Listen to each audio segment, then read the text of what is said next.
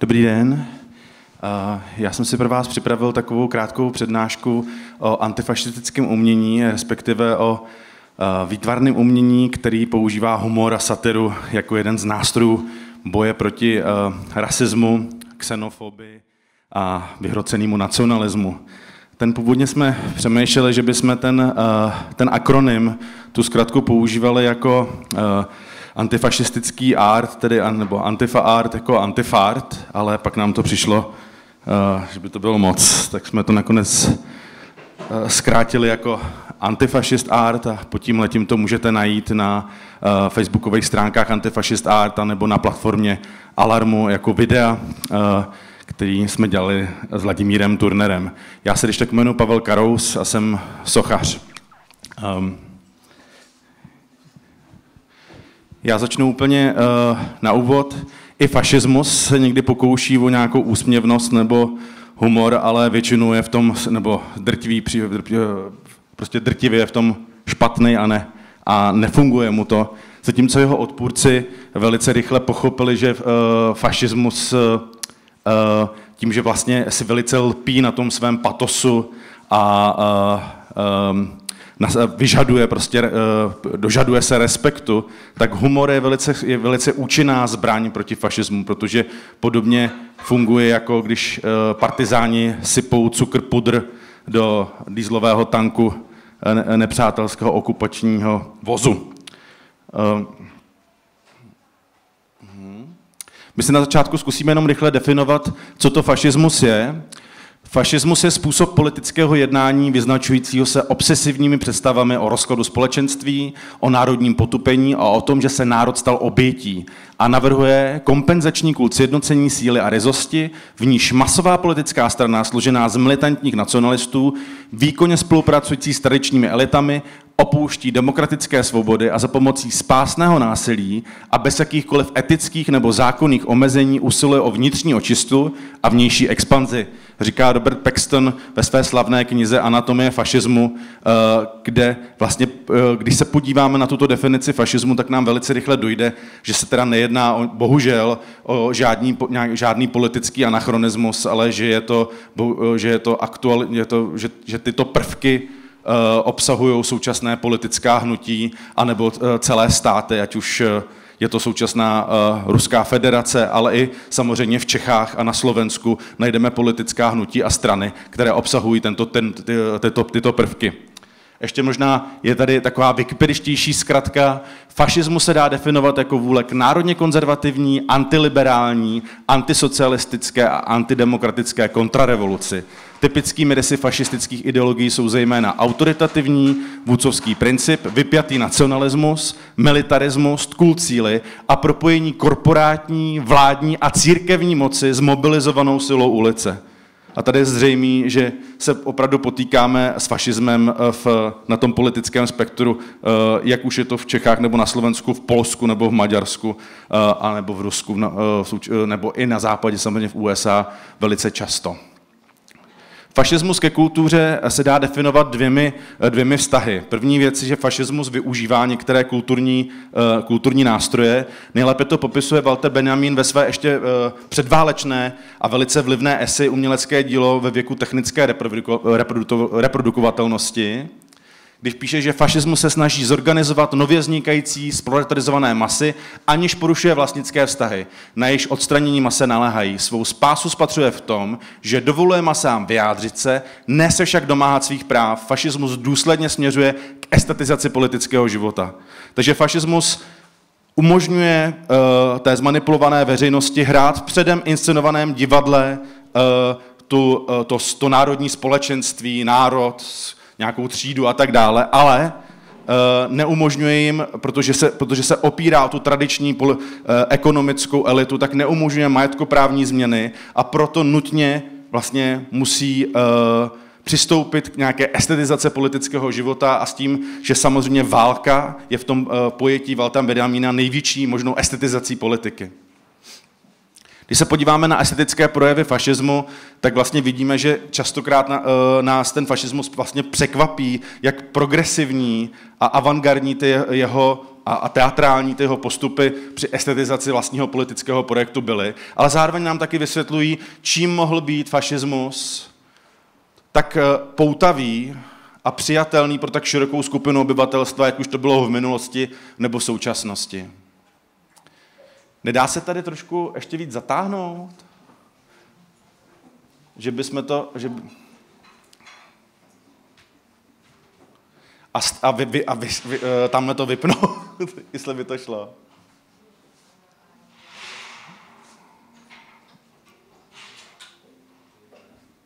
Tak.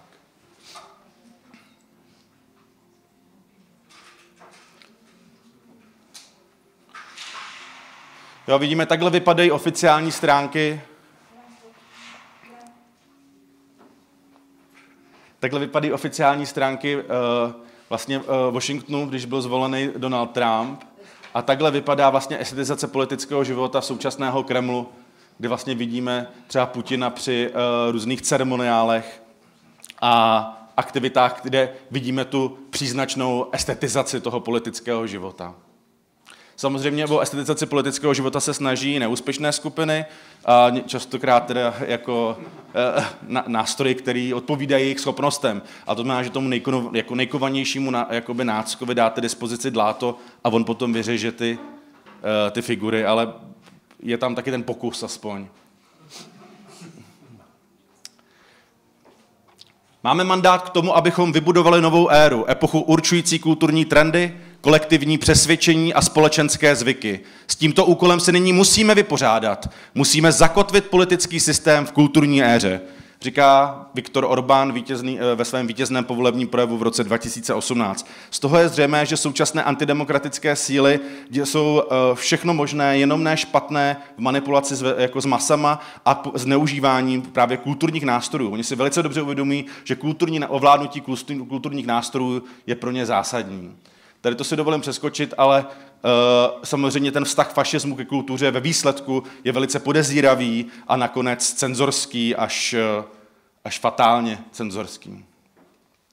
Pro věčný fašismus znamená myšlení jen zbabilost a ke kultuře přistupuje s podezřívavostí jako k potenciální nositelce kritického postoje, píše Umberto Eco ve své velice vlivné eseji Věčný fašismus z roku 95. No a teď se podíváme na ten obrácený vztah, a to je vztah k kultuře naopak k fašismu. Hmm. Já vlastně nevím, kam mám měřit s tím letím. Tamhle? Tady?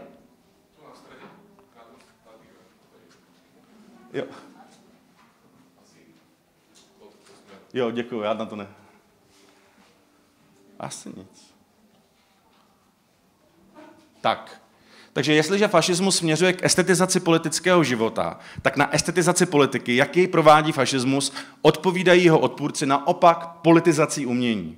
A tímto, tímto se budeme zabývat této přednášce. Valt, uh, píše Walter Benjamin ve svém, uh, jak už jsem říkal, v té umělecké dílověku své technické reprodukovatelnosti. No a my se budeme zabývat vlastně antifašistickou satirou první republiky. Vlastně podle mě nejlépe vlastně vyjadřuje ten ten úkol, který stál před výtvarníky, eh, eh, když eh, se chopili nacisté moci, nebo když byl vzestup vůbec nacistů v Německu, ale i dalších fašistických organizací v Itálii a v, v celé Evropě, tak je tato satirická kresba od Adolfa Hofmeistera, která se jmenuje Tichá práce, která ukazuje ty, ty rudé mečouny jako, jako ty aktivní, angažované umělce, který budou kteří, jejichž, jejichž povinností je vlastně pracovat na zničení tohoto, eh, tohoto Titaniku. Co bylo možná na těch výtvarnicích nej, eh, z dnešního pohledu nejzajímavější, bylo to, že oni strašně rychle, tím, že měli vynikající vzdělání v oblasti politologie, sociologie a dalších humanitních oborů, byli schopni odhadnout, eh, jakým směrem se vlastně fašismus vyvíjí, ale hlavně z kterých zdrojů čerpá svoji energii. A bylo to překvapivé, že výtvarníci, satirický umělci, jak už to byli divadelníci, ale i muzikanti, lidi, kteří dělali grotesky, byli schopni vidět čast, víc než někdy politikové nebo vzdělaný politologové sami s tím, jakým směrem se to bude ubíhat a odhadovali vlastně ty zdroje a vztahy fašismu vůči jednotlivým společenským patologickým jevům. Jeden samozřejmě důležitější, důležitých jevů, který, na kterým stavil fašismus, aspoň ten fašismus německý určitě, byla inflace. To jsou všechno věci, které vlastně nám budou, by měly nás varovat, protože to, co odhalovali eh, satirický umělci v té době, jsou vlastně ty samé podněty, v kterých žijeme eh, v současnosti. Byla to platová a majetková nesouměřitelnost. V lednu roku 1919 stálo kilo vepřového masa 46 kč, zatímco kvalifikovaný horník vydělával v průměru 14,86 korun denně. Na lístky do divadla pracoval dělník tři dny, oproti tomu ředitel živnobanky, doktor Josef Price, měl oficiální příjem 14 000 korun za hodinu. To byl oficiální příjem, samozřejmě ještě nemluvíme o těch, eh, že seděl v různých dalších správních radách a eh, byl, měl vliv, k, eh, vlastně byl důležitým korupčníkem taky celého té první, té první republiky. Ale oficiální jeho plat bylo 14 000 za korunu, zatímco horník, vlastně kvalifikovaný dělník, vydělával 15 korun denně. Tohle to krásně, uh, tohleto krásně parafrázuje Antonín Pelc, když ukazuje ve své satirické kresbě nezaměstnaní, že jsou dva typy nezaměstnaných. Jedni, kteří nepracují, prostě ne, eh, kteří nezískávají svoje, své obří majetky prací a lidi, kteří naopak práci získat nemohou. Bytová krize, složení obyvatel nouzových kolonií bylo různé, povětšinou se tvořili nezaměstnaní seniori, dělníci, ale po rekonstrukturalizaci státních zaměstnanců i lidé s vysokoškolským diplomem. Tady vidíme vlastně dvě, dvě možnosti, jak trávit dovolenou u vody.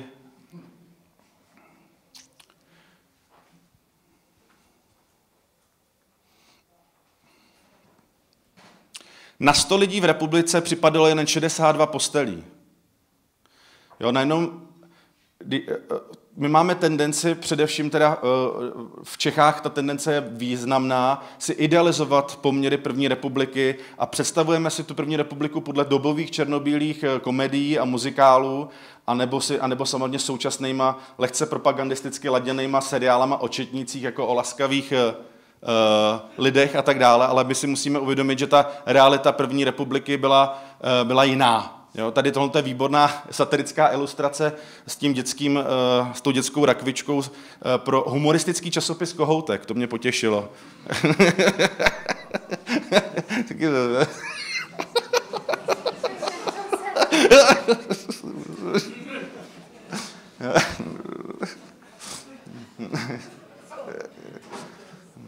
Policejní persekuce. V roce 1920 probíhalo silné stávkové hnutí. V procenci se přes milion dělníků zúčastnilo generální stávky. Generální stávka teďka samozřejmě je i před náma. V České republice teďka jsme asi podle mě pár týdnů před generální stávkou. Prosinci se před miliony dělníků zúčastnilo generální stávky. Tehdy například se střílelo do demonstrující před parlamentem. Jenom do četnického zásahu v Duchcově v roce 1931 šlo o 26 takových policejních zásahů. Tedy za první republiky bylo mnohem zvyklé, jako mnohem pravidelnější, že, že se spíš do dělníků, eh, do neozbrojených demonstrací spíš střílelo, než se do nich nestřílelo. Představ o tom, jak vypadal parlament jako volená instituce lidu, tak tam byly prostě normálně eh, pytle s pískama, s ostnatým drátem a byly tam prostě rychlopalné pušky. A ta situace prostě nebyla zdaleka tak ideální, jak by se nám dneska měla, jak by se nám jako dneska vyprá, eh, měla vyprávět. Samozřejmě to samozřejmě odpovídá celé Evropě. V Německu ta situace byla ještě mnohem vyhrocenější. Proto to tam také dopadlo tak, jak to tam dopadlo. Jo. Narodil se nový nezaměstnaný. Tohle mám moc rád. za každým občanem, každý občan ve svém existenčním boji musí cítit, že za ním stojí stát. jak kdyby to řekl dneska nějaký pravicový neoliberál prostě z ministerstva vnitra.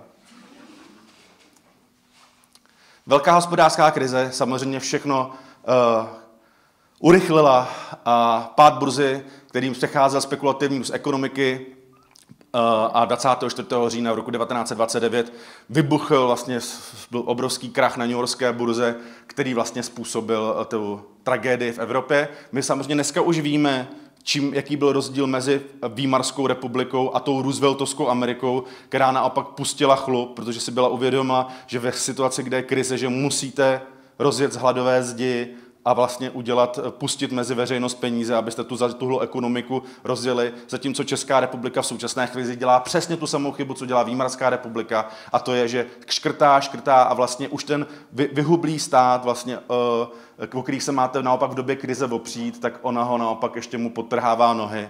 A to podle mě povede velice rychle k další tragédii.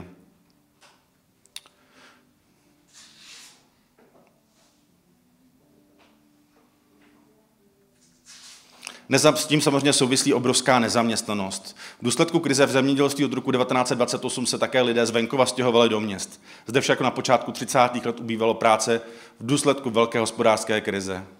To je ilustrace od slovenského grafika Štefána Bednára, který uh, se zrovna v té době vrátil z Paříže.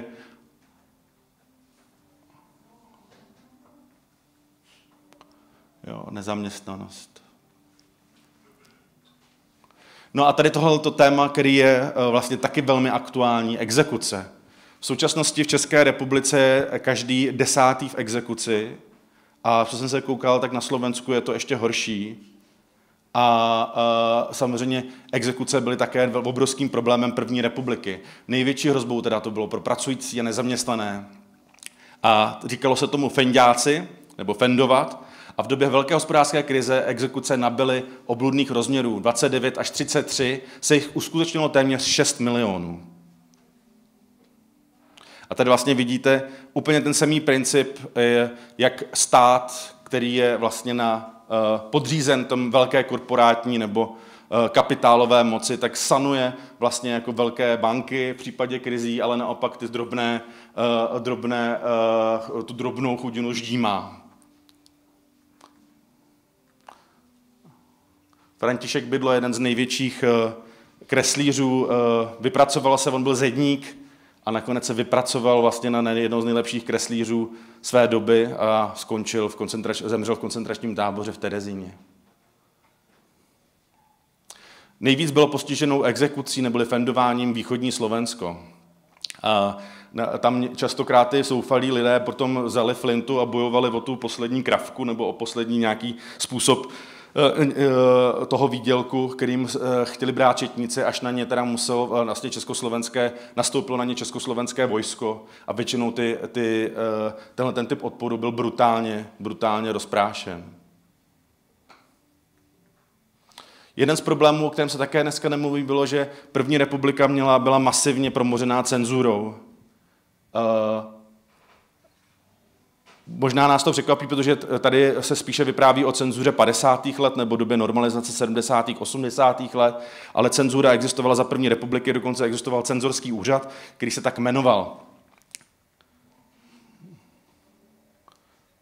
Na to samozřejmě reagovalo spoustu satirických časopisů, které ale také byly cenzurovány což vedlo k tomu, že uh, ty uh, oblasti, které byly, uh, vlastně ten stát určil jako, že jsou nepohodlné, tak byly zabaveny přímo v rotačkách a do toho bylo vložena nápis buď cenzura nebo zabaveno, což vedlo k tomu, že některé časopisy, hlavně ty satirické, teda vycházely jenom s křížovkou nebo, nebo s fotbalovou přílohou a jinak byly celé vlastně pokryty tou masivním nápisem konfiskace, což vedlo třeba časopis Trn k tomu, že z toho udělala vlastní grafický design.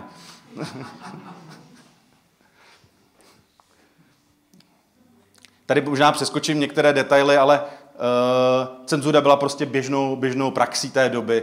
To, co nás také spojuje s tou dobou, je oligarchizace médií. V současnosti je asi třetina uh, uh, Takhle, eh, čtvrtina veškerého mluveného, teda veškerého psaného slova v republice je vlastněno bývalým, bývalým eh, premiérem Andrejem Babišem, ale jinak ostatní, to, eh, to, co není veřejnoprávní médium, tak to vlastní další asi tři nebo čtyři oligarchové. Takže my nemůžeme vlastně mluvit v Čechách o tom, že bychom měli svobodu slova, protože když pět lidí rozhoduje o tom, co si máme, jaké informace se, jakým informacím se dostaneme, tak to není samozřejmě svoboda slova. Ten důležitý faktor je, že oligarchové nevlastní média proto, aby nám tam říkali přímo, co si máme myslet, ale spíše vylučují to, to co informace, o kterých se nemíme dozvě, eh, nemáme dozvědět. Proto také my nevíme, co nevíme. to se samozřejmě týkalo těch 20. 30. let. Tady geniální uh, vlastně uh, autor myslím, že vlastně vynálezce v té fotokoláže, té, to, to, to, té metody, která se dneska běžně pro, po, používá na obálkách politických a společenských časopisů, John Hartfield, tedy uh, uh, Hans Hertfelde, uh, s svým, svým občanským jménem, uh, tak na to reagoval ve svých, uh, ve svých karikaturách. Tady tohle je, myslím, velmi důležité a to je, pod, jakým způsobem velký kapitál podporoval fašismus. To zbratření velkého kapitálu a fašismu nebylo úplně přirozené, protože ten velký kapitál se těch fašistů samozřejmě štítil. Nebyl to jejich třídní, nebyl to jejich třída a byli mu brutálně, jako svou brutalitou mu byli odporní, ale nakonec zvítězilo to, že nepřítel mého nepřítele je můj přítel a dohodli se vlastně na tom, že proti té snaze nárokovosti, Eh, nebo té snaze vlastně pro nějaké, po nějakém sociální revoltě, snaze o narovnání těch eh, a demokratizování výrobních prostředků a tak dále, takže nakonec eh, masivně podpoří vlastně fašistické strany. Stalo se to ve všech, ve všech státech Evropy té doby, kde předtím prošla, proběhla spackaná levicová revoluce. Spackaná levicová revoluce je něco, co vždycky v nás, potom následuje to, že kapitál se lekne a podpoří vlastně radikální eh, pravicové nacionalistické organizace a fašismus.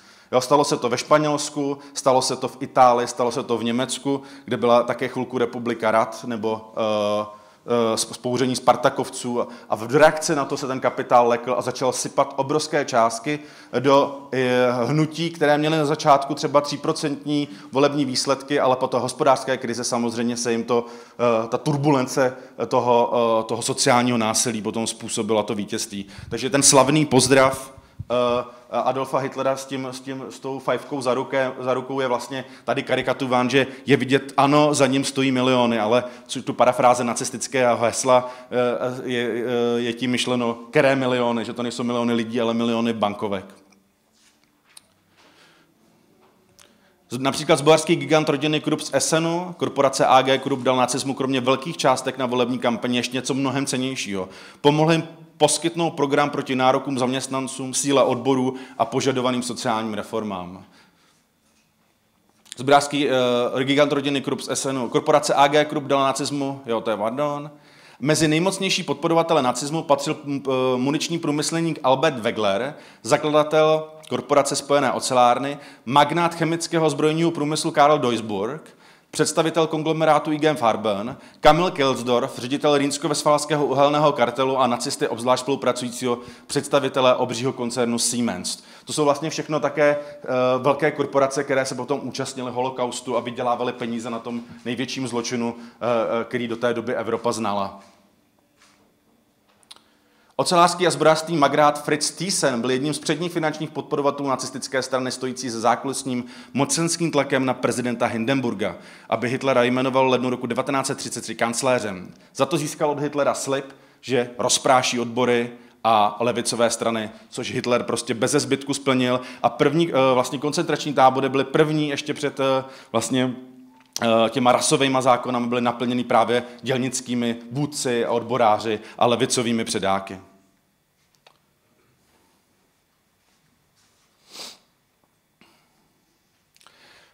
Jedna z velkých taky kritik té doby byla propojení církve a fašismu. Vy to známe určitě z lateránských smluv, kde došlo mezi Mussolinem a, va, eh, a Vatikánem, tehdejším papežem, došlo k dohodě, že, eh, že se vytvoří po té eh, republikánském zabrání Vatikánu, že se z toho znovu vytvoří stát a zároveň do toho ten fašistický stát dá obrovské částky. Za to ovšem očekává od církve, že bude propagovat fašismus a Mussoliniho stranu, fašistickou stranu prostřednictvím svých hlasných trup, tedy kostelů, což také ta katolická církev bez zbytku v Itálii splnila. Na to samozřejmě reagují různý, uh, různý umělci. Vězeň byl vězeně na svobodě. Jenom podotýkám, že Vatikán vlastně před uh, uh, uchopením moci Benitem Mussolinem nebyl samostatný stát.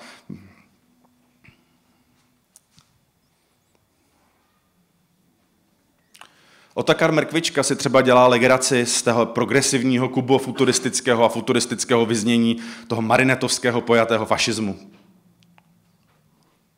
Ale v podstatě podle těch datumů vidíme, že už od roku 1920 Prostě okamžitě, kdy se fašismus stává ohrožením jakoby demokracie v Itálii, tak na to reagují československý umělci.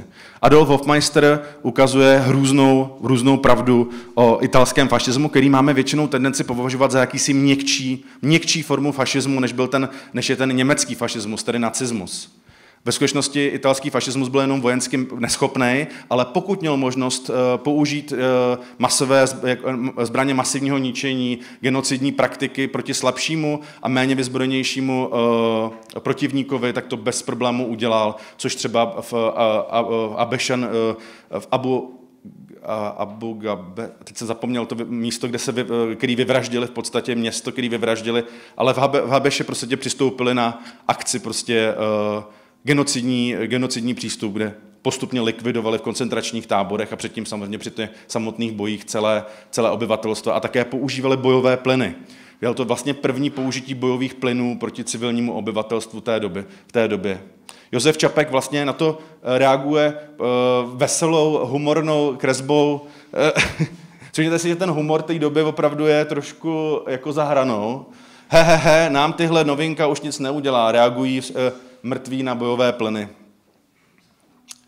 Fašismus samozřejmě se měli i domácí. Jo? Tady tohle je třeba národní obec fašistická, která zdaleka nebyla tím nejhorším protivníkem, protože s fa- fašismem sympatizovali například minister národní obrany, potom pre- pre- eh, premiér Jiří Stříbrný, a ne, teda, eh, teda, pardon, ne premiér, minister národní obrany Jiří Stříbrný, ale také Karel Kramář který eh, Karel Kramář byl vlastně sympatizant s fašismem až do té chvíle, než vznikla Národní obec fašistická, kdy ji začal považovat za politický, politickou konkurenci a taky z toho národního, národního souručenství vyhodil, což parafrázuje tady ta krásná karikatura Antonína Pelce.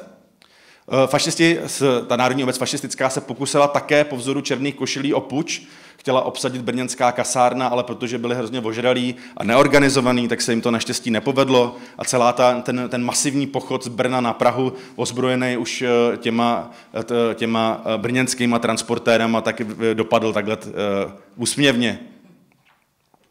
No a potom samozřejmě začíná ta domácí reakce na německý předválečný fašismus z roku, po roce 1933.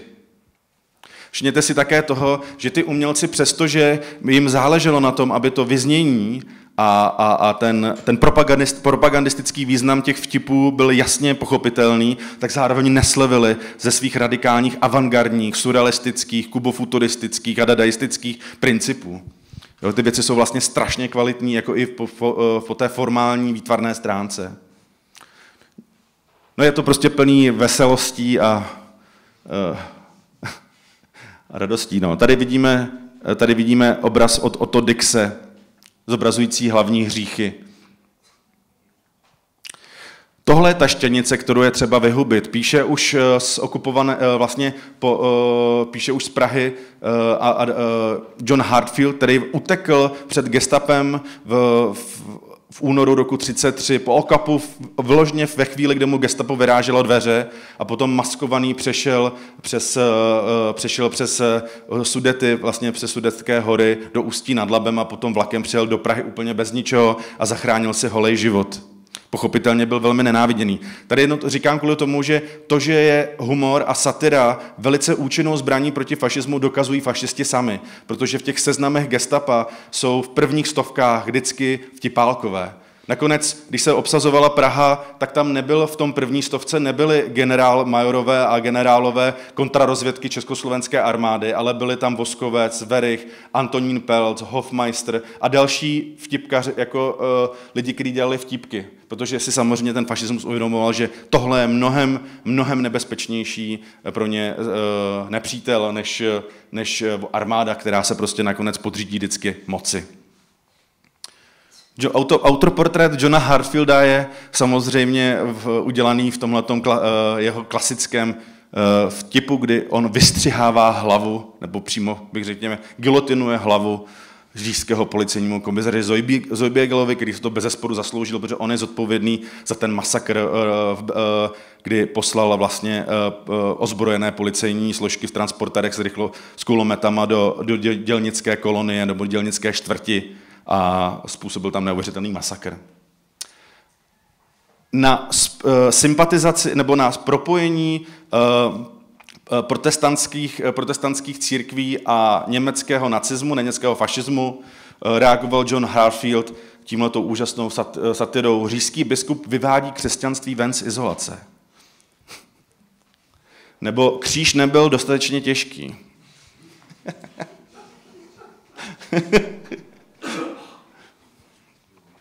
Já německý dob. Tohle to mám rád. Vánoční stromeček v Německu roku 1933. jako je, jak jsou, podle mě jsou fakt jako bravurní, ale ještě sílu tomu dodává, že oni skutečně byli ohrožení na životě při každém takovémhle vtipu a i ještě před okupací Československa operoval samozřejmě Abwehr pilně na území československého prostoru a unášel a vraždil vlastně eh, německé emigranty, židovské intelektuály a další eh, eh, jako umělce, který se vyjadřovali proti, proti Německu. Proti, ne Německu, proti třetí říši, aby byl konkrétní. To co, to, co umožňovalo Johnu Hartfieldovi být velice rychlý, je právě ta technologie, kterou on sám vynalezl nebo vyvinul, a to byla ta fotomontáž. Takže on vlastně v, eh, v téměř druhý den v reakci na nějaký projev nacistického vůdce nebo nějakého eh, předáka nacistické strany byl schopný zareagovat velice vtipným komentářem. Tohle je například reakce na slavný Geringův eh, projev v rádiu, že ocel je lepší než máslo, kdy ukazujete tu nacistickou rodinu, která pojídá tu ocel. A nebo tohle je ta Hitlerova nabídka k míru, po které následují Hitlerovy mírové holubičky. Tady bychom se zasekli a Simplicus byl komplikovaný problém. Časopis Simplicus se částečně utekl do zahraničí, do Prahy a částečně se nechal nacifikovat a samozřejmě přišel o ten humor. Na to reaguje František Bydlo, jak uh, ta redakce, která zůstala v Berlíně, uh, líbá prdel prostě nacismu. Tohle je ten jejich první máj. Židi jsou našimi hosty a bude tak podle toho s nimi zacházeno. Parafrázuje František Bydlo ve své, eh, ve své brutální satirické kresbě mučení, eh, zobrazující mučení, která byla běžnou praxí vlastně od začátku nacismu v Německu. A takhle vypadá umění v dnešním Německu. Je to nejčistší země na světě. A takhle je to, tohle je naše mírová ideala v Československu. Samozřejmě František Bydlo uh, útočil nejen na nacismus, rasismus, xenofobii, ale i třeba na zneužívání moci na pracovišti.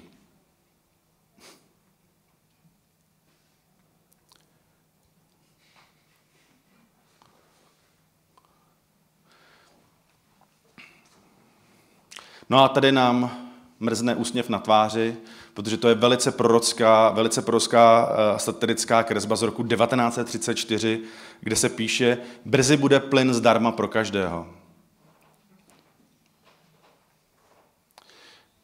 Důležité je zmínit mezinárodní výstavu karikatur o humoru eh, ve spolku Mánes, která byla největší událostí eh, tohoto typu na světě a také přitáhla největší pozornost. Vystavovali tam od sovětských až pro americké umělce zvučných jmén a bylo to vlastně první pokus dostat eh, satirické kresby, karikatury na, jako naroveň jiným platformám nebo jiným uh, uh, uměleckým um, disciplínám a to se také podařilo. John Harfield vystavil v okněch Mánesu tuto úžasnou kresbu, která na, uh, uh, ukazuje na propojení právě toho velkého kapitálu a nacismu. Uh, v kresbě Adolf nadčlověk poliká zlato, ale má plechovou hubu která vyvolala eh, ostrou reakci ze strany doktora Kocha, tedy velvyslance Třetí říše, načež vlítli do Mánesu prostě eh, eh, na rozkaz vlastního ministerstva vnitra československý četníci a tu výstavit některé obrazy zabavili a zbyli také některé umělce. To taky ukazuje na tom, že neexistuje něco jako rizí fašismus a rizí demokracie, ale je to pozvolný průběh, pozvolný proces, v kterým se někde nacházíte, a ten, a ten přechod je možná mnohem, mnohem bahnitější, než bychom si možná přáli. Není tam jasná dělící čára. Na to reagovali umělci tím, že do tohoto okna potom dávali každý den nové obrazy, který, para, který parodovali uh, Hitlera a uh, stal se z toho jedna z mimořádně úspěšných, ná, uh, návštěvnicky úspěšných akcí. Z toho také pochází další plagátovací akce. A spoustu těchto věcí se staly jakými si, dneska bychom řekli memy, věci, které se vylepovaly prostě na, uh, ve vitrínách, vylepovaly se na záchodcích, vylepovaly se po hospodách a staly se, staly se opravdu jako uh, vtipy, který, uh, který kolovaly v to, mezi tou veřejností. Tohle je nejkrásnější od Borise Jefimova. Ideální áriec musí být vysoký jako Goebbels, stepelý jako Göring a plavovlasý jako Hitler. Říká uh, Julius Streicher, Tež také stoprocentní áriec. A nebo uh, Goebbels vyhrává na olympiádě, protože jako jediný je si schopný strčit chřest na výšku do úst. Bravurní. No samozřejmě my se bavíme jako jenom o výtvarném umění, ale zatím probíhá obrovské hnutí, kde se kterého se zúčastní všichni kulturní pracovníci. Jedna z nejdůležitějších antifašistických divadel v Praze bylo samozřejmě osvobozené divadlo Voskovce a Vericha, který okamžitě, po, jakmile začal být nacismus nebezpečný v Německu, tak vlastně změnili to pojetí těch původních jako burlesek nebo kabaretní vystoupení na silně eh, chytré, politicky velice propracované satiry na, na nebezpečí fašismu. A vidíme to samozřejmě i na jejich na grafickém designu.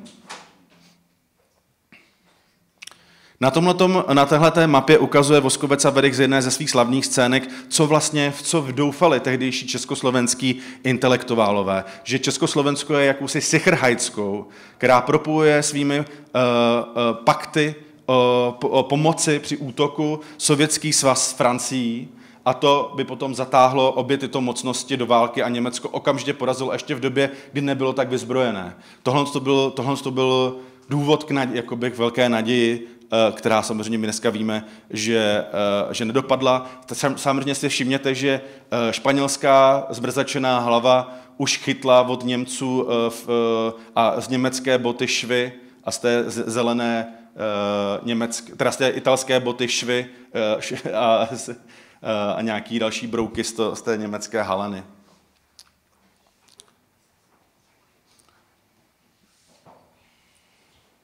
Španělsko bylo samozřejmě obrovským tématem.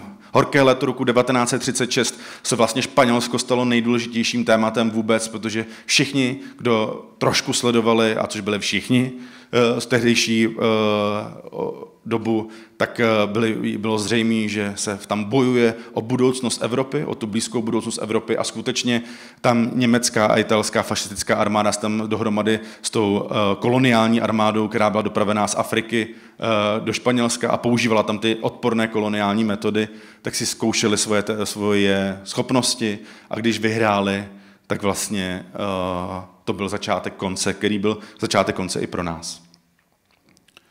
Tady ukazuje ten nesouměřitelný boj mezi technickým vybavením té fašistické Frankovy armády, kde mimochodem uh, vlastně skoro polovina automobilového parku frankistické armády byla dovezená z Ameriky a, věž, eh, a i když ta, ta legální demokratická republikánská španělská vláda nakupovala eh, ropu nebo benzín od amerických zdrojů, tak tato schválně nechávala parkovat ty trajekty v přístavech, které už byly obsazený Frankem, protože samozřejmě ty velké korporace podporovaly Franka v boji proti té revoluci, která probíhala na pozadí té španělské občanské války nejslavnější antifašistický obraz, eh, antiválečný obraz Gernika od Pabla Picasa, ale málo kdo už možná ví, že tomu obrazu předcházela série kreseb, které, eh, který chtěl původně Picasso, teda nakonec eh, nebylo, to nebylo schváleno udělat v, té, v, tom, ehm, v tom paláci rep, Španělské republiky v Paříži.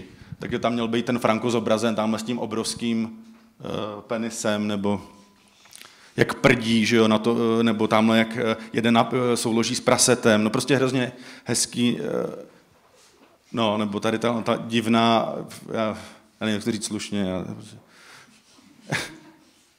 jo, takhle mělo vlastně vypadat, takhle měla vypadat vlastně, jako dneska představte, že by to nebyla ta Gernika, že by to bylo tohle, co bychom měli nosili na známkách a na tričkách. bylo vlastně bylo cool, ne? Jako... jo, samozřejmě Gernika se stala obrovským memem. Do dneška vlastně memem, který funguje jako antiválečný, antifašistický výtvarný vzor. Das ist das Heil, das sie bringen. Tak to vypadá to vítězství, které nám přináší. Vydává, je, oba, je jeden z ilustrací časopisu AIZ z roku 1937 od geniálního Johna Hartfielda.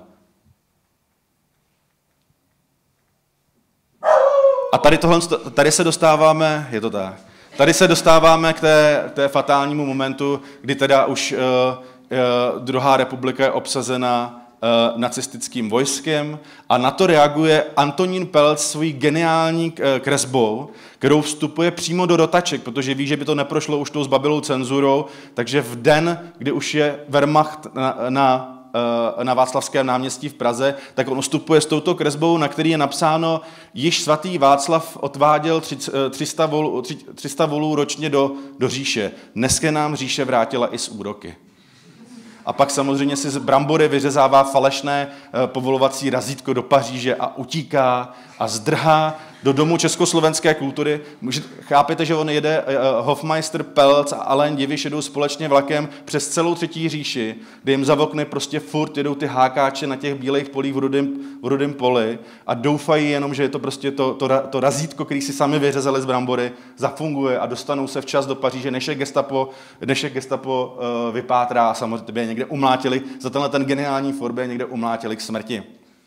Dostávají se do Domu československé kultury v Paříži, kde ovšem, eh, který sice eh, je pod eh, patronací prezidenta, exilového prezidenta Beneše, ovšem jsou okamžitě zatčeni a uvězněni ve slavném a strašném vězení Lasanté, kde vyrábí prostě z čokolády, výkalů, tabáku a špíny tyhle ty úžasné kresby.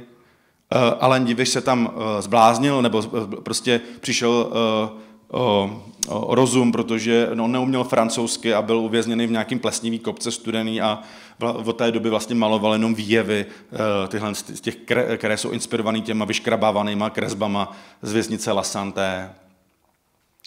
Potom byly přemístěny do pracovního táboru Demingny. Tady pozor, tohle je ještě období, kdy Francie byla v takzvané podivné válce. To znamená, že už tehdy byli komunisté a levicoví intelektuálové a humanisté a utíkající a židé samozřejmě zavíráni ve Francii do koncentračních táborů, ještě předtím, než tam přijela německá okupační zpráva. Jo, znovu ukazuju, že to byl prostě zeitgeist té doby a fašismus prostě byl, měl nakročeno ve všech těch státech a proto také dokázala ta nacistická zpráva potom tak dobře vlastně eh, ty obsazené území zpravovat, protože tam mohla spolupracovat s těmi místními fašisty.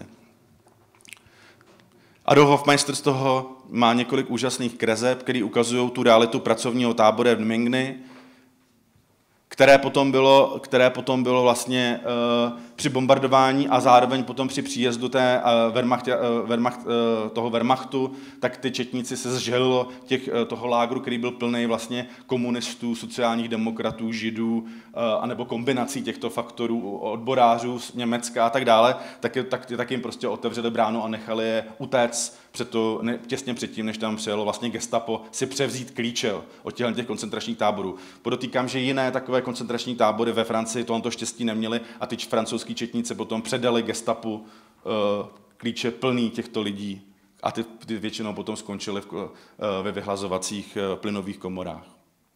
Adolf Hofmeister uplatil pašeráky nějakýma obrázkama, uplatil pašeráky s hašiš, hašišem, který pašovali hašiš z, z, Casa, z Casablanca je tu Maroko, děkuji. Z Maroka, výborný hašiš. A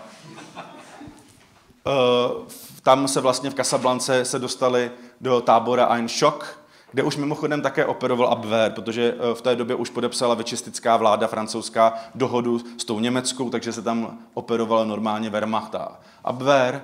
A nakonec po strašlivých štrapácích se jim podařilo získat vlastně loď, e, která je odvezla do New Yorku, kde třeba skladatel Ježek zápětí umírá prostě na ty štrapáce a tak dále.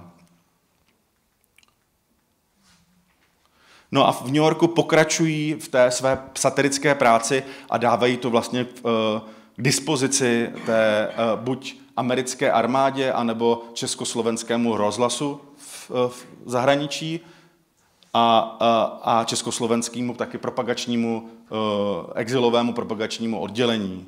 Vzniklo z toho, z toho několik úžasných plagátů, a také tyto plagáty byly vystaveny v Momě, což je nejslav, jedna z nejslavnějších vůbec institucí, kulturních institucí na světě. A tady podotýkám, že první Čechoslováci, kteří vystavovali v Momě, jsou právě antifašistický karikaturisté a bylo to považováno za veliký úspěch, že zrovna karikatura a zrovna československá byla prezentovaná v této, to je jenom taková konzistorický odbočka, ale byl to, je, to, je to důležitý milník. Tady vidíme uh, Edvarda Beneše, teda prezidenta v exilu, jak si prohlíží s Adolfem Hofmeistrem a vzadu s, uh, a vedle s uh, Antonínem Pelcem ty karikatury. Tady tohle, co je zajímavé, karikatury vznik pokračovaly samozřejmě ve velmi Eh, buď velmi jinotajném, anebo velice konspiračním prostředí i za okupace v Československu, nebo v tom Bémen un Méren. A ukážeme si samozřejmě i, že i v tom uh, klerofašistickém slovenském státě existovaly velice chytré karikatury. Tady tohle je karikatura, který posílal Antonín Dvořák poté, on byl zatčen v roce 1938 na Riotu s Opletalem a byl odsouzen do koncentračního táboru, kde, on, kde uh, onemocněl, dostal zánět slinivky a do, oni ho nechali odvíz domů, protože věděli, že umí umírá a Antonín Dvořák posílal svým kamarádům tyhle ty úžasný PFK, z eh, Vánoční PFK, kde samozřejmě čteme správně, jak to čtete. Jakože to není eh, betlémská hvězda, kterou tam ty lidi vítají. Ano, a tady se dostáváme k těm anonymním letákům ze Slovenska, které měly velice, velice, dobrou, uh, velice dobrý vizuál a něčím, něčím, něčím tenhle ten, uh, tenhle ten uh, partizánský vizuál předjímá punkový vizuál fa- fanzinu 70. let z, uh, z Velké Británie. Jo, kde je, ta, kde je pátá svině? Se ptá se tenhle ten plagátek, který když jste si složili, tak vám vyšla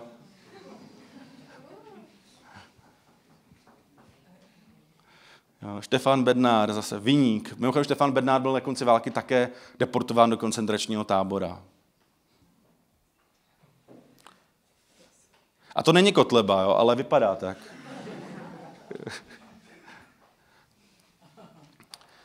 Tady si trošku přeskočíme, to je vlastně velice smutná pravda o, o tom, jak fungovala druhá republika. Druhá republika už měla velice ostře nakročeno na fašiz, k fašismu a první koncentrační tábory také nebyly projektovány a uh, zaplňovány uh, po okupaci, ale ještě před ní. Uh, 14. března 1939 už v ní pracovalo zhruba na 12 tisíc převážně mladých mužů. Současně stát druhé republiky do nich zavíral nepřátele státu, což bylo definováno jako komunisti, socialisti a lidi židovského původu a v neposlední řadě také cikány, a osoby práci se štítící a po cikánsku žijící. Takže vidíme, že už ta druhá republika měla eh, rozdíl mezi druhou republikou a tou okupační zprávou už byl jenom v desetinné čárce, a také když přijelo gestapo a vidělo, jakým způsobem ty český četníci spravují ty takzvané eh, cikánské tábory v letech nebo v Hodoníně, tak jenom jim zasalutovali nebo zahajlovali a řekli, výborně to děláte, pokračujte dál. Ano. Samozřejmě, že to obcházelo i ty zákony druhé republiky, protože za druhé republiky jste nemohli uvěznit někoho za to, že nemá práci, když to bylo dítě, přesto se tam ty uh, děti uh, koncentrovaly a nakonec umíraly hlady. Vlastně žádné dítě, které se v tom táboře narodilo, tak, ta, tak tu situaci nepřežilo.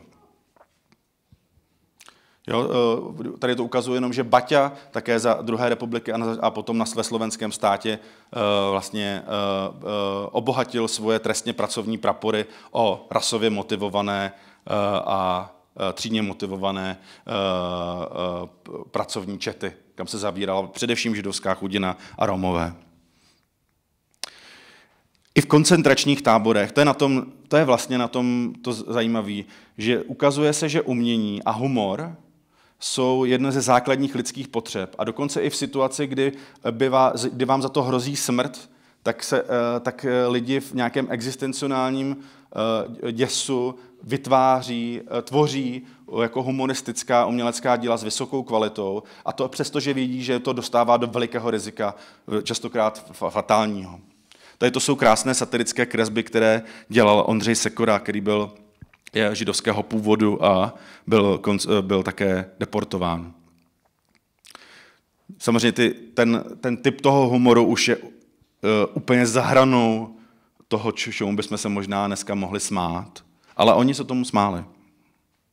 Tady tohle je moc hezký vtip, to je, uh, to je uh, vtip z Terezína, koncentračního tábora Terezín, kdy uh, kamarádi uh, bývalého židovského továrníka Willingera mu vypálili drátem, horkým drátem do palandy nápis Villa Willinger.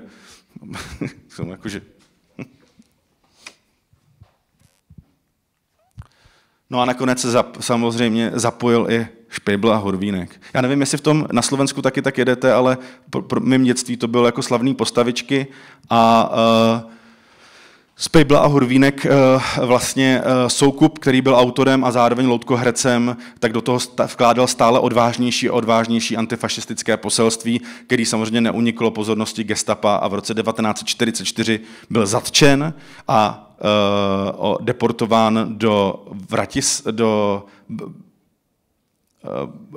drážďanské, eh, do drážďanského koncentračního tábora, který když byl bombardován, tak on jako zázrakem to bombardování přežil a dokonce mu to bombardování umožnilo utíct. A on se dostal a schovával se vlastně až do pozbytek války, se schovával eh, v jižních Čechách u, u, u příbuzných a když potom po válce hledal ty figurky, tak zjistil, že ty figurky byly uh, sle, slečené a popálené cigaretama v trezoru gestapa, což mi připadá něčím Jo, jakože vlastně tomu gestapu stálo týrat i ty, i ty figurky, které ho jaksi zesměšňovaly. Jo. No a tím se dostáváme teda k závěru druhé světové války. Jak jsme na tom s časem? Konec? Šmidli, šmidli, fidli? Dobrý. Tak takže s, s druhou světovou válkou jsme skončili. Kdybyste chtěli, kdyby vás zajímalo další povídání o výtvarném umění, které se staví proti fašismu, a to nejen tehdy, ale i dnes, podívejte se na naše YouTubeové videa nebo na, přes platformu Alarm, jmenuje se to Antifascist Art. Eh, točil to Vladimír Turner, dělali jsme to v době covidový covidový izolace, prostě dva kluci, hodně ketaminu, musíte to vidět, je to moc hezký. A jako taky klaustrofobní, ale uvidíte, že se vám to bude, že se vám to bude líbit. A, a jinak eh, vám přeju eh, všechnu moc imaginaci a smrt fašismu.